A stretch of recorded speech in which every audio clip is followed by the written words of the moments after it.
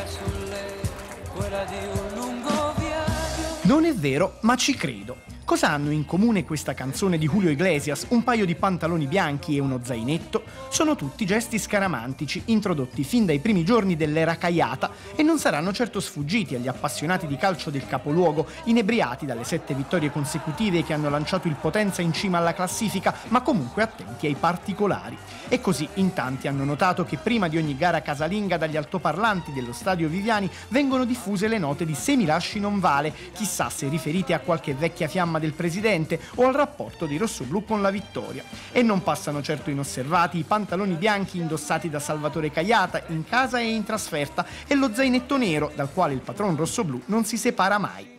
Sono passati decenni dal sale sparso a bordo campo come buon augurio, ma i propositi sono gli stessi: scacciare le invidie, aprire le porte, quelle metaforiche alla fortuna, e le porte, quelle del terreno di gioco, alle reti del Potenza. E, visti i risultati, i condomini dei palazzi che affacciano sullo stadio Viviani dovranno rassegnarsi ad ascoltare ancora a lungo una hit un po' datata ma dal grande fascino. Per il Potenza questo ed altro non è vero, ma ci credo.